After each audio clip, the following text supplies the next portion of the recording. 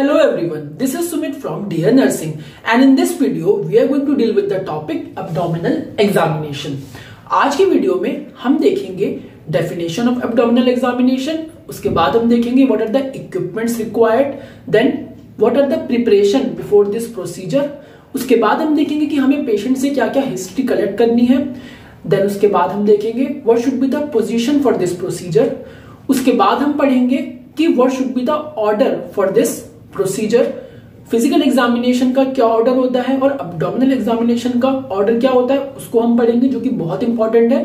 और लास्ट में हम देखेंगे steps of abdominal examination based on our order so let start so जैसा कि हमने यहाँ पे लिखा है अपना टॉपिक अब्डोमिनल एग्जामिनेशन उसकी हमने डेफिनेशन क्या लिखी है कि it is the part of physical examination जो हम head to toe physical examination करते हैं।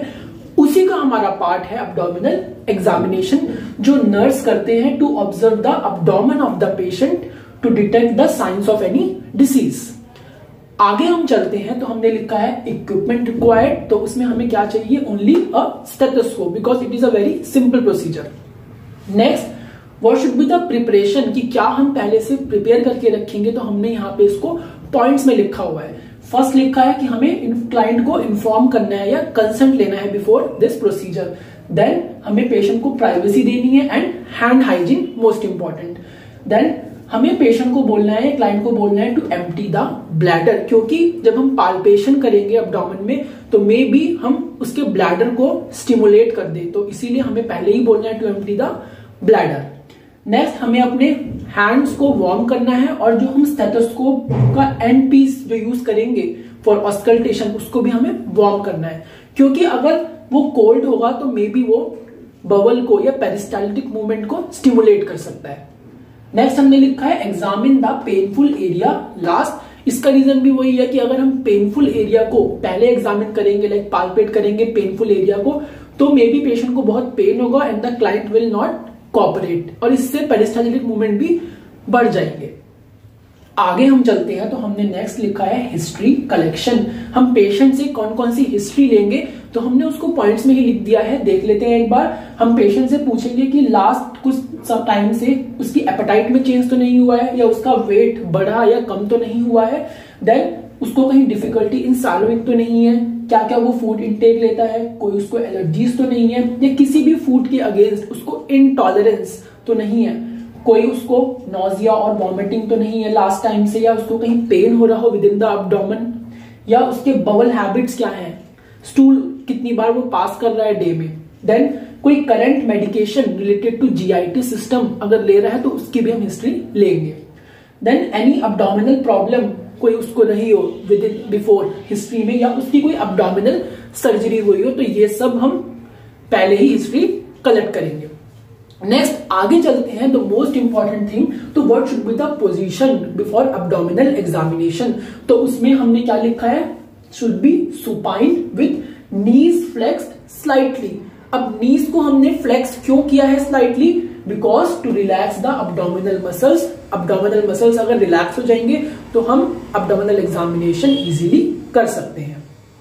आगे हम चलते हैं तो what should be the order for the examination so order में सबसे पहले हमने लिखा है कि फ़िज़िकल एग्जामिनेशन जो हम करते हैं हेड टू टो उसका ऑर्डर क्या होता है? तो सबसे पहली बात, हम हमेशा चार स्टेप्स फॉलो करते हैं फॉर एनी एग्जामिनेशन तो पहला जो हमने लिखा है इस इंस्पेक्शन जिसमें हम ऑब्ज़र्व करते हैं for any abnormality by using our eyes palpation में हम यूज़ करते हैं हमारे फिंगर्स और hands to palpate any organ then percussion में हम टैपिंग करते हैं और जो टैपिंग से साउंड प्रोड्यूस होती है, उसको हम असेस करते हैं। देन ऑस्कल्टेशन में हम स्टेटोस्कोप यूज़ करते हैं टू ऑस्कल्टेट द साउंड्स तो फ़िज़िकल एग्जामिनेशन में स्टेप्स क्या क्या होंगे या ऑर्डर फ़र्स्ट हम करेंगे inspection then palpation then percussion and last में ऑस्कल्टेशन और इसका बेसिस क्या है कि हम less skillful inspection less skillful procedure है, और हम कैसे मूव करते हैं to more skillful like auscultation तक हम मूव करते हैं, क्योंकि ऑस्कल्टेशन में हम साउंड्स को ऑस्कल्टेट करते हैं, उसको असेस करते हैं तो उसके लिए हमें ज़्यादा स्किल की ज़रूरत होती है। तो फ़िज़िकल एग्जामिनेशन में ये हमारा ऑर्डर होता है। बात हम कर लेते हैं very important that is abdominal examination में क्या ऑर्डर होता है। तो उसमें हमने लिखा है, हमारा फ़िज़िकल एग्जामिनेशन में जो था इंस्पेक्शन वो तो सेम है इंस्पेक्शन से स्टार्ट करेंगे बट यहाँ ये जो थ्री स्टेप्स हैं ये बदल गए हैं वहाँ पे तो हम ऑस्कल्टेशन को सेकंड पे रख देंगे। यानी इसको हम रिवर्स कर देंगे ऐसे। तो रिवर्स करेंगे तो हमें क्या मिल रहा है? सेकंड इज़ ऑस्कल्टेशन ऑस्कल्टेशन के बाद हम करेंगे परकशन एंड लास्ट में पाल्पेशन सो so, ऐसा हम क्यों कर रहे हैं? वाई ऑस्कल्टेशन सेकंड हम कर रहे हैं? क्योंकि हमने यहाँ पे लिखा है कि ऑस्कल्टेशन के बाद ही auscultation always precedes percussion and palpation क्यों? क्योंकि परकशन और पाल्पेशन में हम टैपिंग कर रहे हैं या फिर हम प्रेस कर रहे हैं पेशेंट के एब्डोमेन को तो प्रेस करने की वजह से हम बवल को स्टिमुलेट कर रहे हैं और बवल स्टिमुलेट होगा तो पेरिस्टालिसिस मूवमेंट ज़्यादा बढ़ जाएँगे और पेरिस्टालिसिस मूवमेंट अगर बढ़ेंगे तो बहुत ज़्यादा बबल साउंड्स प्रोड्यूस होगी। और अगर हम ऑस्कल्टेशन कर रहे होंगे तो मे बी ये जो साउंड प्रोड्यूस होगी, ये ऑस्कल्टेशन के रिज़ल्ट सही से नहीं दे पाएँगे। इसीलिए हम पहले ही ऑस्कल्टेशन कर लेंगे और लास्ट में हम परकर्शन एंड पाल्पेशन करेंगे। तो ये हमें याद रखना है। अब हम देखेंगे हमारे steps of abdominal examination based on the order जो भी हमने पीछे पढ़ा था। उससे पहले एग्जामिनेशन के लिए हमें अबडोमन को चार क्वाड्रेंट्स में डिवाइड करना पड़ेगा और हम कैसे करेंगे? By the two imaginary lines एक हमने बनाई vertical imaginary line from sternum to our pubic bone through the umbilicus और एक हमने बनाई हॉरिजेंटल लाइन जो हमारे अम्बलिकस के थ्रू क्रॉस हो रही है। और इस तरीके से हम हमारे अपडाउन कितने पार्ट में डिवाइड कर पा रहे हैं? फोर पार्ट्स में। जैसे कि right lower quadrant right upper quadrant then left upper quadrant left lower quadrant और इस तरीके से we can examine our abdomen very easily तो चलते हैं हमारे स्टेप्स पे। तो हमने पढ़ा था फ़र्स्ट स्टेप हमारा क्या है?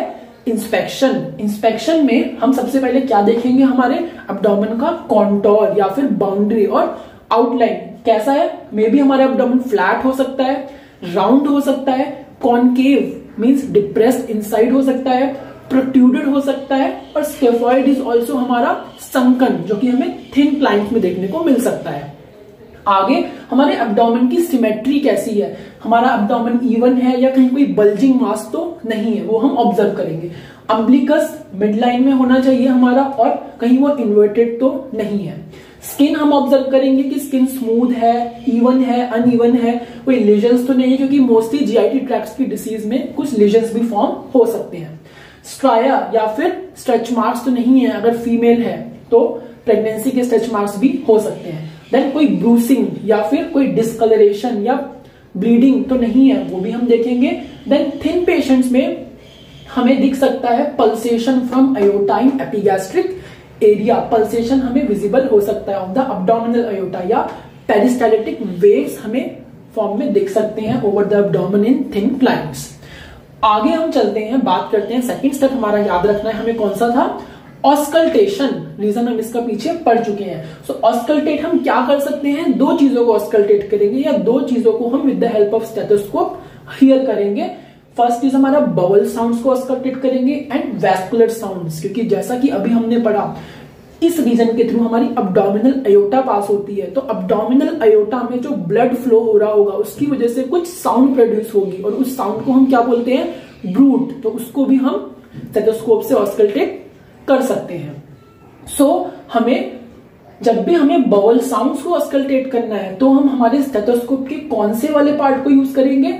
डायोफ्राम तो जैसा कि हमें डायोग्राम में दिख रहा है स्टेथोस्कोप के दो पार्ट्स एंड पीस पे जो स्मॉल वाला है दैट इज़ बेल एंड जो बिग वाला है इज़ डायाफ्राम तो डायाफ्राम यूज़ करेंगे टू ऑस्कल्टेट बवल साउंड्स हम लाइटली प्रेस करेंगे ज़्यादा डीप प्रेस नहीं करेंगे। Then we will auscultate in all four quadrants but हम बिगिन कहाँ से करेंगे? राइट लोअर क्वाड्रेंट क्यों? बिकॉज़ यहाँ पे हमें बवल साउंड्स नॉर्मली हर्ड होती हैं ज़्यादा। क्यों? क्योंकि इसी एरिया में हमारा food passes from our small intestine to large intestine इसलिए ज़्यादा बवल साउंड्स यहाँ प्रोड्यूस होती हैं। तो always we will auscultate from right lower quadrant उसके बाद हम जाएँगे right upper quadrant left upper quadrant and left lower quadrant ये है इंपॉर्टेंट बात। आगे हम चलते हैं, जब हम ऑस्कल्टेट करेंगे तो हमें कैसे साउंड्स ऑस्कल्टेट होगी? हाई पिच्ड गर्गलिंग साउंड्स और वो साउंड कैसी होगी? इरेगुलर होगी।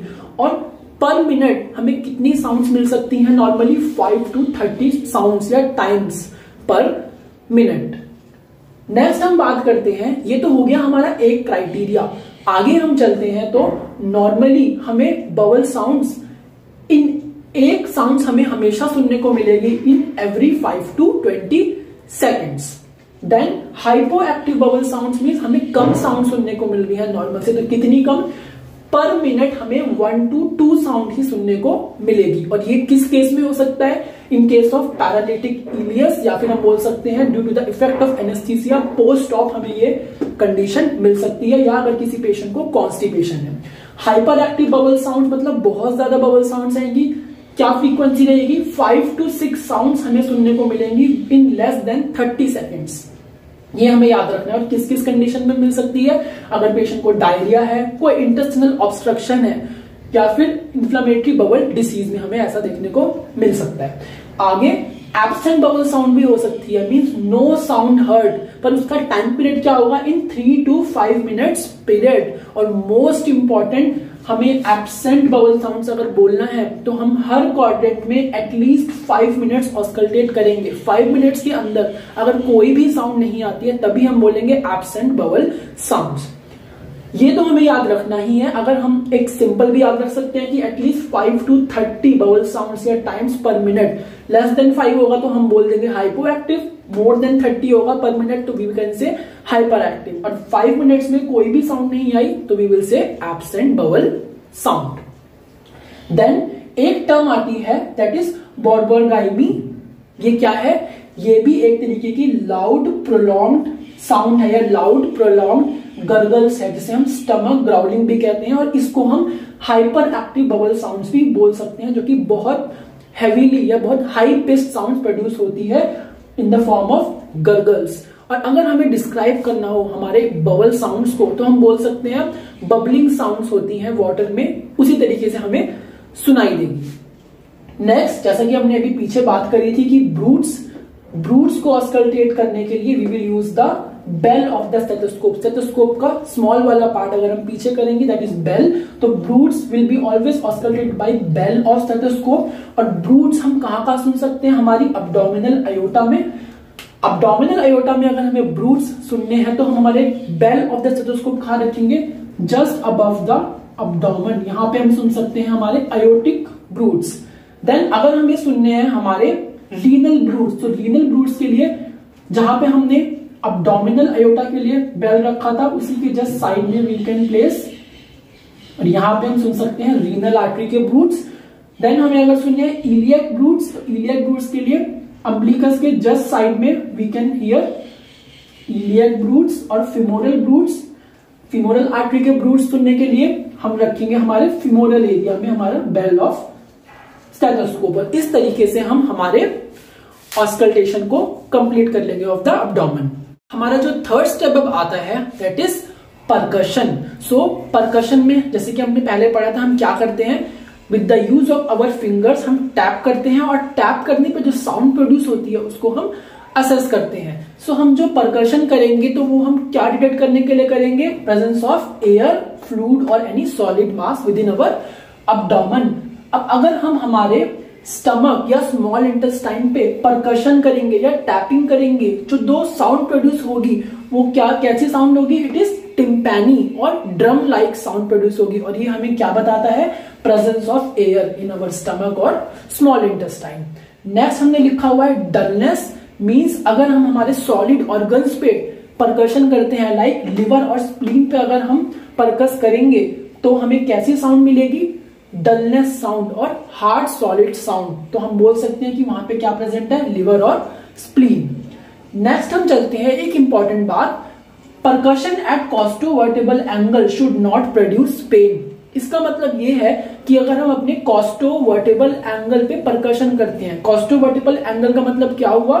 मीन्स एंगल और area present between our twelfth rib and our kidney हमारी किडनी और ट्वेल्थ रिप के बीच का जो एंगल बनेगा, उसे हम कहेंगे कॉस्टोवर्टेबल एंगल वहाँ पे अगर हम परकशन करेंगे तो वहाँ पे पेन प्रोड्यूस नहीं होना चाहिए. अगर पेन प्रोड्यूस होता है इट इंडिकेट्स सम अबनॉर्मेलिटी आगे हम चलते हैं परकशन के बाद. हमारा जो लास्ट स्टेप है दैट इज़ पाल्पेशन पाल्पेशन हमें लास्ट में ही करना है, ये हमें याद रखना है. पाल्पेशन दो तरीके से कर सकते हैं लाइट पाल्पेशन और डीप पाल्पेशन लाइट पाल्पेशन में हम फिंगर्स का यूज़ करेंगे और अबडोमेन की स्किन को डिप्रेस करेंगे अबाउट वन सेंटीमीटर और इससे हमें क्या पता लगेगा? डिप्रेस करने पे कहीं पेशेंट को पेन या टेंडरनेस रिजिडिटी या हार्डनेस तो नहीं है, ये हम पता लगाएँगे. डीप पाल्पेशन में हम कितने डीप प्रेस करेंगे? Five to eight centimetre deep palpate करेंगे टू आइडेंटिफाई एनी मास कोई ट्यूमर कोई न्यू ग्रोथ या size increase of any organ को पता लगाएँगे। Like hepatomegaly that is increase size of liver इसको भी हम डीप पाल्पेशन से पता लगा सकते हैं। वही हमने लिखा है we can palpate liver and spleen for organomegaly और size increase mostly spleen spleen जो होता है, हमारा इट इज़ अनपाल्पेबल होता है।